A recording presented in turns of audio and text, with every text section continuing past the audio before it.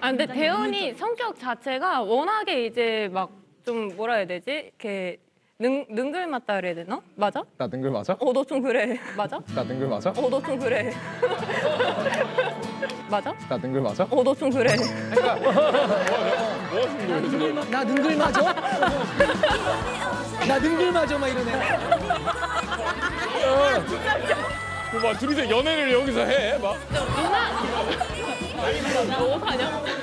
아니 그러면 민, 민정영 선수가 본인 말고 다른 여자 선수한테도 이러는 거 본 적이 있어요? 아이고 그랬어? 아이고 없잖아. 아니, 아니 근데 워낙에 그냥 대현이가 이제 누구한테나 엄청 이렇게 잘하고 좀 근데 이렇게 찍힌 사진은 없잖아. 유일하잖아. 그죠. 아, 그거는 이게 이게 처음이자 마지막이에요. 네. 어 아닌데 이번에 그거 있잖아요 영상 뭐지? 못 올라오셔가지고 아, 그, 아, 뭐 있어 또 뭐 있어? 뭐, 뭐 있어? 왜? 그 이렇게 못 올라오셔가지고 민정 선수님이 그거 어떻게 그거 하세요? 어떻게 다 그거 보였어요? 어떻게 하셨어요? 장안의 화제입니다. 뭐도 있네. 장안의 화제. 어, 진짜 어떻게 진짜 다, 다 보셨네? 예, 그게 상황 좀 얘기해 주세요. 그, 그 난간에 그 난간이 이제 생각보다 높은 거예요. 네. 근데 이제 대현 선수님 이렇게 앉아 계셨는데 민정 선수님이 이렇게 못 올라오셔가지고 어. 막 이렇게 막 끌어올려 주고 막못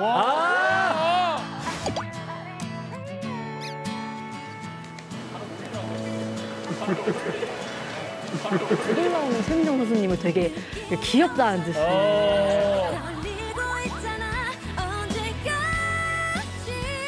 언제까지 아, 이게 원래 그 펜스라는 그게 사실 그렇게 높진 않아요. 근데 민정이 누나가 이게 뭐지 장거리 선수다 보니까 탄력이 막 그렇게 좋지가 않아요. 여기서 장거리 그래서- 선수도 나눠서. 네, 그, 근데 그걸 그게 그 펜스 위에 못 올라오는 게 저는 말이 안 돼가지고 좀 오기가 생기더라고요. 계속 예, 예. 좀 올라올 수 있게. 그치 빨리 내 옆에 앉아야 돼. 그치, 빨리 내 옆에 앉아야 돼. 이렇게 끌어 올린 다음에 이제 자리 앉을 때 이제 귓속말로 나 능글 맞아? 아, 능글 맞아?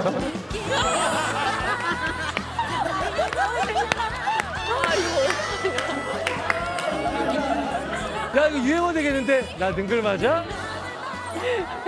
아, 자 그럼 오늘 이 열애설에 대한 확실한 종지부를 찍고 가죠. 우리의 열애설 사실이다 아니다 하나 둘 셋. 아니다. 어 알겠습니다. 네 기념품입니다. 가져가시면 됩니다. 아, 네, 어퍼 어퍼. 던져버렸어.